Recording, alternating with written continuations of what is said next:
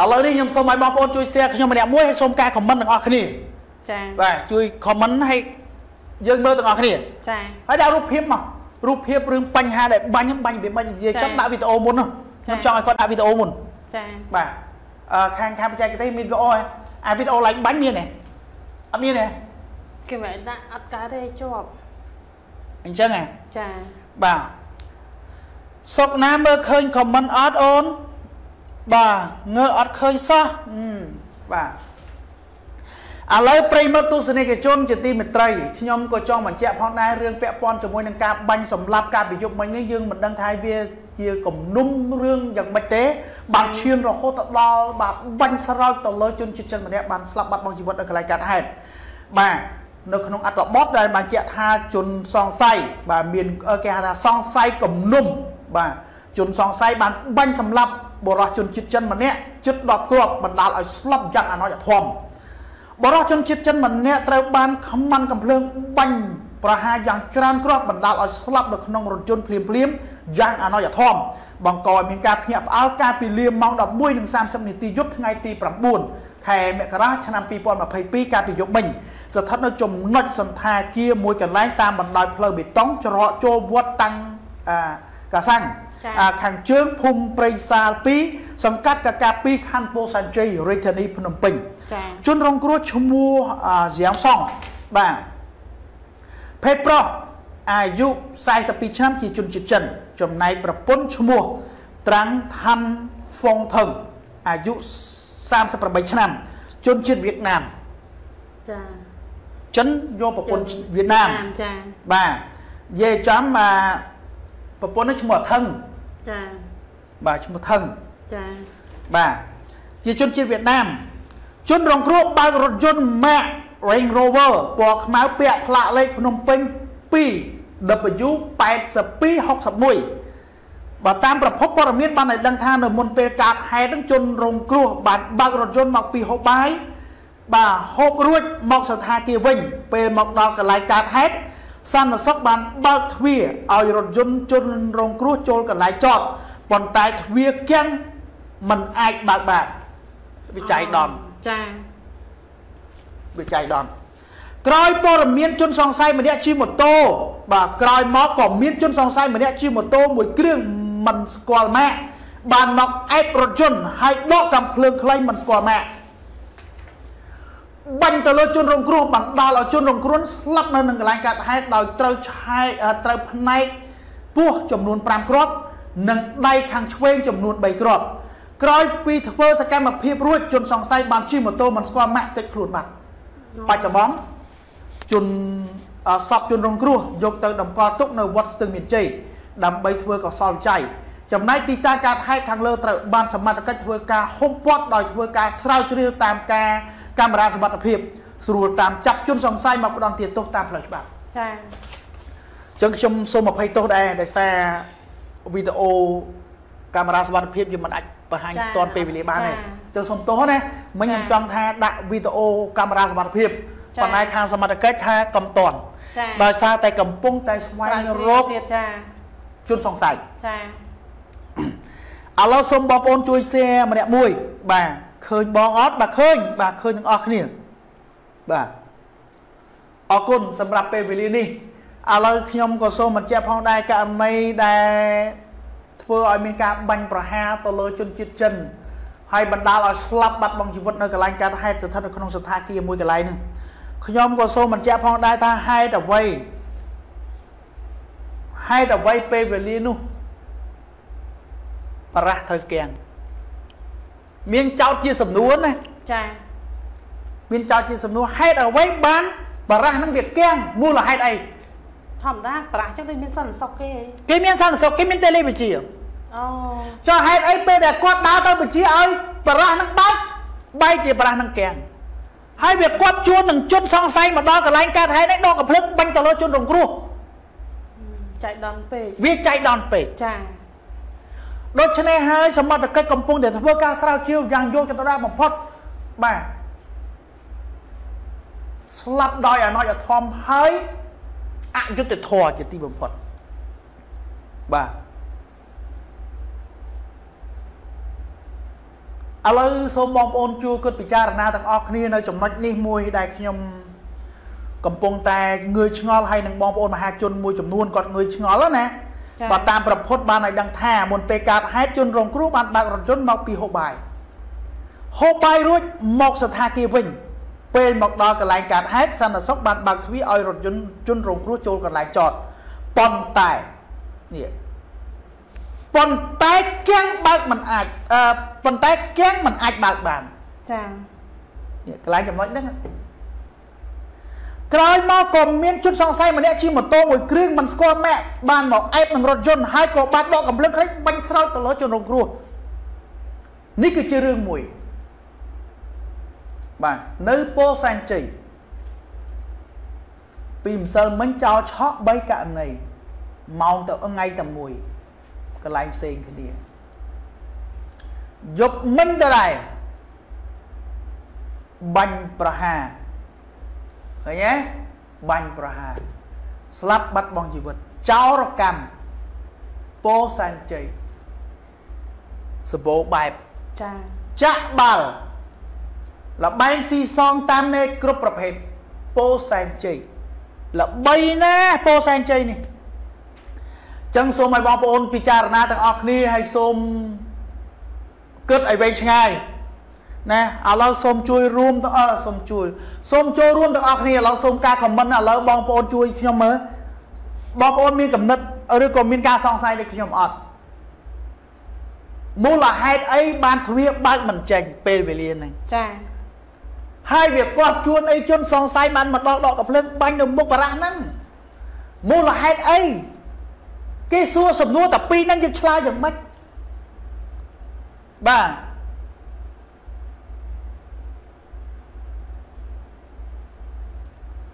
ហួចិត្តហ្មងណាខ្ញុំនិយាយមែនណាឥឡូវបងប្អូនជួយគិតពិចារណាខ្ញុំមើលហើយចេះថាងមិនបានតែចេះតែសង្ស័យសង្ស័យឥឡូវបងឯងមិនគួរឲ្យសង្ស័យមិនឥឡូវសង្ស័យថាមិនខ្ញុំមិនសង្ស័យអីខ្ញុំគិតថាអញ្ចេះខ្ញុំអានខមមិនមហាជន មហាជនគេថាហេតុអីវាគប់ជួនចាណាហេតុអីបានវាគប់ជួនម៉េះឥឡូវដូចកាយចិត្តមេត្តាបាទជំរាបសួរបងសេរី បាទនឹងបងបងស្រីបងសុកណា នៅក្នុងអឺ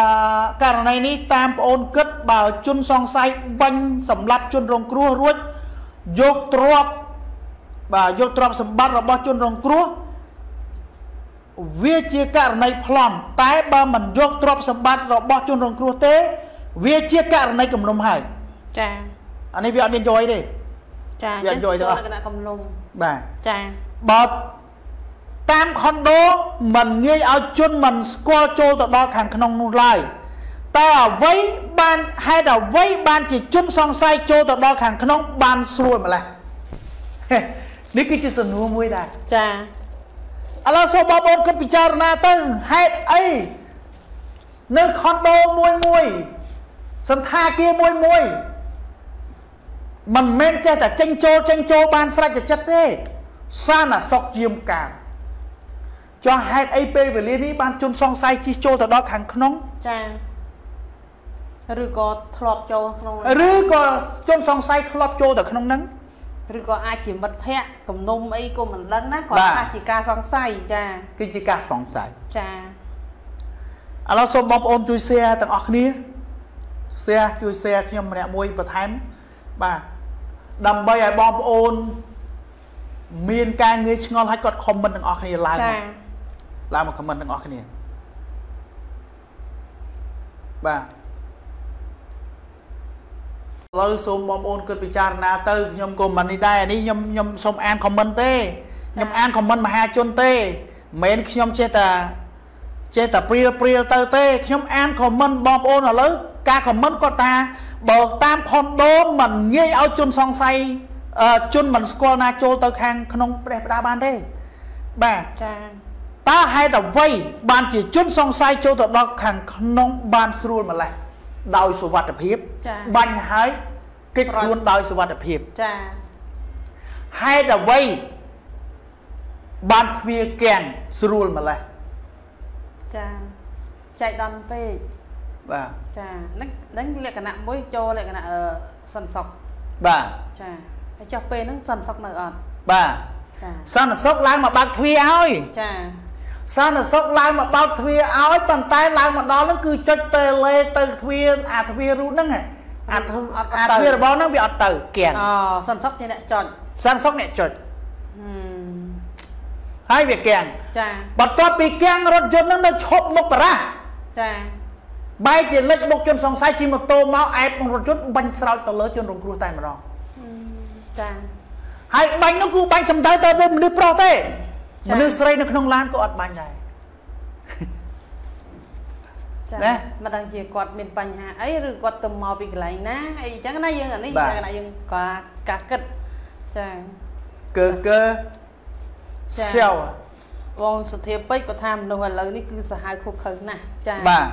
យើងមើលមិនឃើញទេបងឥឡូវមនុស្សយើងចង់និយាយថាលក្ខណៈមួយល្អទៅមុខឯងក្រោយខ្នងអត់ដឹងថាយ៉ាងម៉េចទេបងសម័យឥឡូវគឺពិបាក សូម្បីតែមនុស្សយើងពេលខ្លះយើងទុកចិត្តខ្លាំងបំផុតទៅនៅគេក្បត់ឥឡូវបើនិយាយអីសូម្បីតែខ្លួនឯងក៏ចេះក្បត់ខ្លួនឯងដែរបាទករណីនេះនៅមានការចា៎សង្ស័យច្រើនណាស់ចា៎បាទករណីនេះនៅមានការសង្ស័យច្រើនចា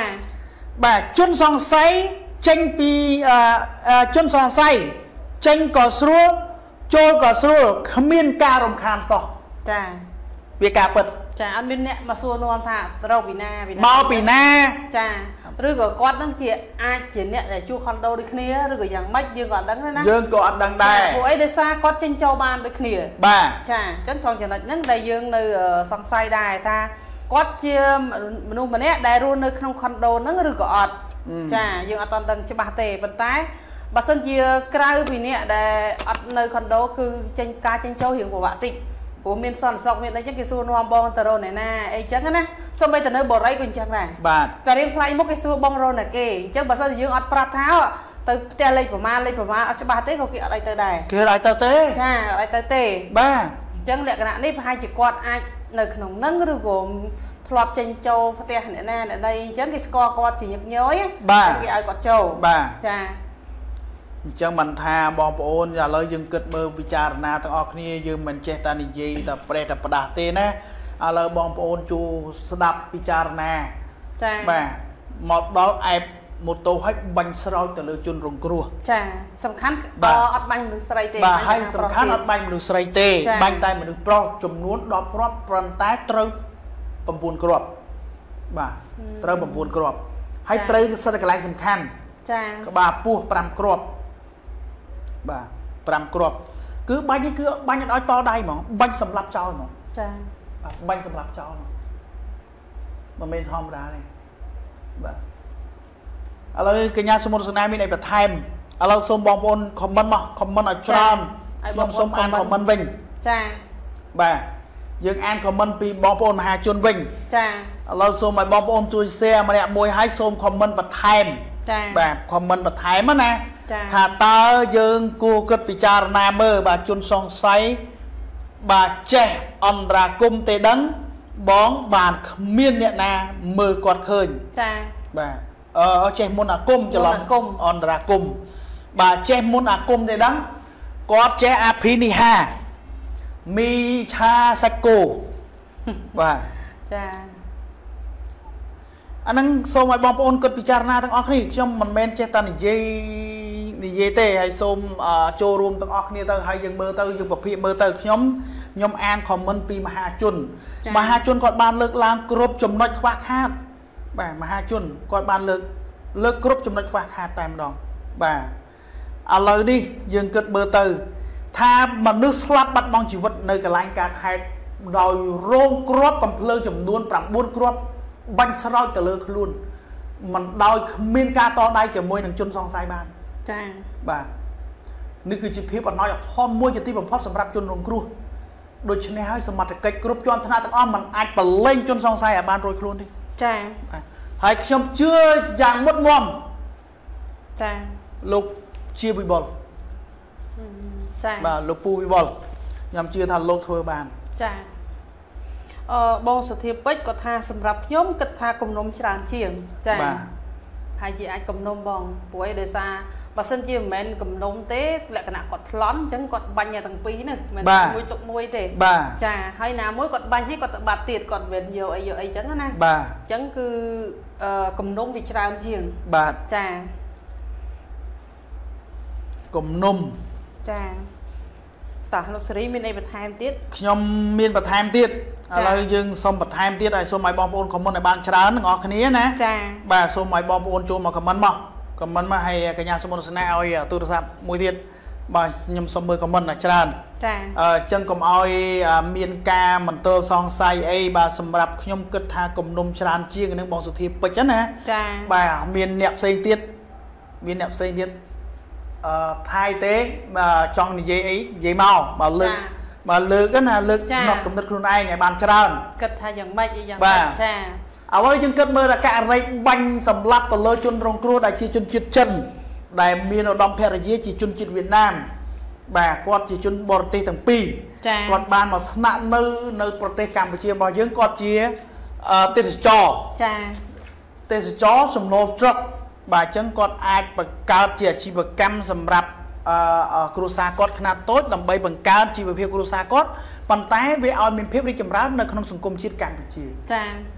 យើងគួរអាណិតអាសូរគាត់ដែរចាបើគាត់ខូចគាត់ខលអាយើងគួរខឹងគាត់តាមនឹងដែរចា៎យើងគួរស្អប់ពើមគាត់តាមហ្នឹងដែរប៉ុន្តែអឺបើតាមការបញ្ជាក់អឺបងប្រុសម្នាក់គាត់ថាបងប្រុសដែលជាជនជាតិចិនហ្នឹងគាត់ចេញចូលគាត់អត់ដែរមាត់កទេអត់ដែរមាត់កទេគាត់ស្លូតបាទហើយយើងអត់ដឹងថាគំនុំនេះអឺឬក៏គំនុំស្នេហាឬក៏ស្នេហាត្រីកោណអីគឺយើងអត់ដឹងដែរចា បាទអត់ទេបើស្នេហាគេត្រូវបាញ់នឹងស្រីទៀតចឹងនិយាយចឹងខ្ញុំខ្លាចចែអានេះការការការគិតរបស់ខ្ញុំឯណាបងប្អូនខ្ញុំខ្លាចតែខាងស្រីហ៎យល់ទេអូខេយល់យល់យល់បាទអានេះតាមការគិតរបស់ខ្ញុំចាហេតុអីមនុស្សនៅក្នុងឡានទាំងពីរនាក់នៅក្នុងបាញ់តែមួយបាញ់តែមួយចាអត់បាញ់មនុស្សស្រីអានេះជាអឺជាសំណួរសួរចាមកហើយខ្ញុំក៏លើកនៅចំណុចហ្នឹងឡើងមកនិយាយដែរចាបាទអានេះជាការលើកឡើងឯណាចា ពីមហាជនប្អូននៅតែឆ្ងល់បងហេតុអ្វីជនសង្ស័យនិងជនល្មើសតែងតែមានកំភ្លើងកាន់កាប់តើជនទាំងអស់នោះបានកំភ្លើងមកពីណារើសនៅជាការអំពៅចាតែនៅមាត់សមុទ្របាទតែមកពីមាត់សមុទ្រចាបាទក៏រើសបាននៅជាការអំពៅ អញ្ចឹងសូមឲ្យបងប្អូនជួយគិតពិចារណាទាំងអស់គ្នាដល់រឿងពាក់ព័ន្ធជាមួយនឹងការបាញ់សម្លាប់ទៅលើជនជាតិចិនចំនួន10គ្រាប់ហើយត្រូវ9គ្រាប់ធ្វើឲ្យជនជាតិចិនស្លាប់បាត់បង់ជីវិតយ៉ាងអណោចអធមនៅកន្លែងកើតហេតុនៅក្នុងថ្លុកឈាមហើយនៅក្នុងរថយន្តរបស់ខ្លួនតែម្ដងចាពេលវេលានោះឧត្តមភរិយាដែលជាជនជាតិវៀតណាមបានយំស្រែកអបសោះអញ្ចឹងណាយល់ហើយបង យល់បាទបាទយល់ទាំងអស់គ្នាចាបាទហើយខ្ញុំក៏សូមបញ្ជាក់ផងដែរថាអឺជនជាតិចិនម្នាក់ដែលបានស្លាប់បាត់បង់ជីវិតនៅក្នុងក្រោមការបាញ់សម្លាប់ពីលើជនសង្ស័យស្រោចទៅលើជនរងគ្រោះចំនួន10គ្រាប់បណ្ដាលឲ្យត្រូវ9គ្រាប់5គ្រាប់ត្រូវពោះនិង4គ្រាប់ត្រូវដៃឲ្យស្លាប់បាត់បង់ជីវិតនៅកន្លែងកាត់ហេតុបាទហើយឆ្មាន់កំភ្លើងនេះគឺបាញ់ប្រហារដោយគ្មានញញើដៃ បាទបាញ់សង្កត់យកទៅលើជនរងឲ្យស្លាប់បាត់បង់ជីវិតនៅកន្លែងកើតហេតុតែម្ដងហើយការបាញ់សម្លាប់នេះគឺភ្ញាក់ផ្អើលនៅវេលាម៉ោង11:30នាទីយប់ថ្ងៃទី9មករាឆ្នាំ2022បាទស្ថិតនៅក្នុងជំទិចស្ថានភាពមួយកន្លែងតាមបណ្ដោយផ្លូវបេតុងច្រកចូលវត្តតាំងកសាំងបាទខាងជើងអភូមិព្រៃសាល2សង្កាត់កាកាបទី2ខណ្ឌពោធិ៍សែនជ័យព្រះរាជធានីភ្នំពេញចា ហើយខ្ញុំក៏សូមបញ្ជាក់សារជាថ្មីម្ដងទៀតដែរថាជនរងគ្រោះនោះឈ្មោះស្រាំងសុងភេទប្រុសអាយុបាទអឺ42ឆ្នាំជាជនជាតិចិនបាទគឺគឺបាទចំណែកប្រពន្ធជាជនជាតិវៀតណាមឈ្មោះធាំងអាយុអឺ38ឆ្នាំជាជនជាតិវៀតណាមចាហើយជនរងគ្រោះបើករថយន្ត Mack Range Rover ពណ៌ខ្មៅពាក់ផ្លាកលេខភ្នំពេញ 2W 8261តាមបាន តាមប្រភពព័ត៌មានបានដឹងថានៅមុនពេលកើតហេតុជនរងគ្រោះបានបើករថយន្តមកពីហូបបាយហូបរួចមកសន្តាគារវិញ ពេលមកដល់ចំណុចកន្លែងកើតហេតុសន្តិសុខបានធ្វើការបើកទ្វារឲ្យរថយន្តជនរងគ្រោះចូលកន្លែងចតប៉ុន្តែទ្វារគាំងមិនអាចបើកបានចាក្រោយមកក៏មានជនសង្ស័យម្នាក់ជិះម៉ូតូមួយគ្រឿងមិនស្គាល់ម៉ាកបានមកអែបនឹងរថយន្តហើយដកកំភ្លើងក្លែងមិនស្គាល់ម៉ាកបាញ់ស្រោចទៅលើជនរងគ្រោះ បណ្ដាលឲ្យស្លាប់បាត់បង់ជីវិតនៅក្នុងថ្លុកឈាមនៅក្នុងអឺរថយន្តតែម្ដងបាទចំនួន5គ្រាប់ត្រូវពោះ4គ្រាប់ត្រូវដៃបាទក្រោយពីធ្វើសកម្មភាពរួចជនសង្ស័យក៏បានជិះម៉ូតូមិនស្គាល់ម៉ាក់កិច្ចខ្លួនបាត់ស្រមោលដោយសុវត្ថិភាពបច្ចុប្បន្នសពជនរងគ្រោះក៏បានយកទៅតម្កល់នៅវត្តស្ទឹងមានជ័យដើម្បីធ្វើការអឺគេហៅថាកសលវិច័យបន្ថែម ចំណែកទីតាំងកើតហេតុខាងលើត្រូវបានសមត្ថកិច្ចធ្វើការឡោមព័ទ្ធឬក៏ហុំព័ទ្ធដើម្បីធ្វើការស្រាវជ្រាវតាមកាមេរ៉ាសវត្ថិភាពងាយស្រួលតាមចាប់ជនសង្ស័យផ្ដន់ទោសតាមផ្លូវច្បាប់ចាបាទតាមផ្លូវច្បាប់អានេះខ្ញុំខ្ញុំអានតាមខមមិនទេណាបាទបាញ់នេះបាញ់សម្រាប់តែម្ដងមិនឲ្យជួយគ្រោះបាន បាទមិនឲ្យសង្គ្រោះបានគ្រូបានបាទចា មិនឲ្យជួយទេបាទបាញ់មិនឲ្យញញើតទេណាចាបាទបាញ់ស្រោចតែម្ដងនេះហើយថាអ្វីដែលបងប្អូនបានឃើញបានដឹងបានឮយើងឃើញនៅជាក់ស្ដែងរឿងករណីបាញ់សម្លាប់នេះមិនមែនធម្មតាទេបងប្អូនបាទនៅកន្លែងកើតហេតុទី1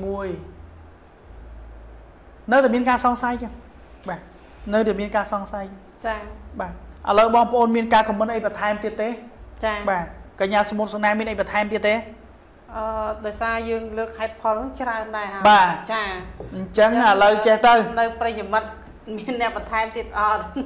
បាទចាមានអ្នកបន្ថែមទៀតអត់ស្រីហេងចាបាទស្រីហេងចេញមកអវងហ្មងណោះបាទបងអូនស្រីខ្ញុំចាចេញមកអវងយកអវងយកហាត់ប្រានបាទម៉ោងនេះម៉ោងគាត់ហាត់ប្រានគាត់ចេញមកក៏អវងចាបាទ ឥឡូវមួយទៀត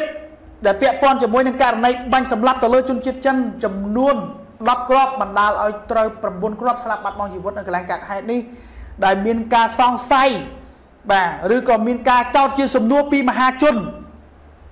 បាទហេតុអ្វីពេលវេលានោះគឺចៃដន្យម្លេះទ្វារបើកមិនចេញជនសង្ស័យបកកំភ្លើងបាញ់ទៅលើជនរងគ្រោះចាមូលហេតុណាបាទចិនលីសាបាទ អរគុណបងស្រីទាំងពីរថ្ងៃនេះបាទសិតតារាថ្ងៃនេះសិតតារាចូលមកមើលខុសធាន B អរគុណចាបាទបាទឥឡូវសូមជួយ share ម្នាក់មួយ បាទជួយ share ទាំងអស់គ្នាហើយសូមការ comment បន្ថែមលោកកែចិត្តមេត្តាបន្តថាជនសង្ស័យបាទសង្ឃឹមថាកងកម្លាំងឆាប់បង្ក្រាបជនសង្ស័យឲ្យឆាប់បានរហ័សចា ខ្ញុំក៏ជឿយ៉ាងមុតមមចឹងដែរចាបើសិនជាទឹកចិត្តអង្គអាចក្លាហាន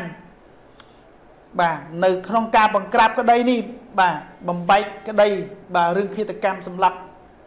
លើជនជាតិចិននេះខ្ញុំជឿជាក់យ៉ាងមុតមមទៅលើពូជីវបុលចាអាចធ្វើបានអាចធ្វើបានបាទខ្ញុំសង្ឃឹមហ្មងបាទ ឥឡូវសូមសៀម្នាក់មួយហើយឥឡូវចេះតោះអើកញ្ញាសមុទ្រសនាគាត់ថាអស់ហើយគាត់អស់ខ្យល់ផងចាឥឡូវខ្ញុំសូមបញ្ចប់នៅព័ត៌មានដែលពាក់ព័ន្ធជាមួយនឹងការបាញ់សម្លាប់ទៅលើជនជាតិចិនត្រឹមនឹងចោះចាបាទ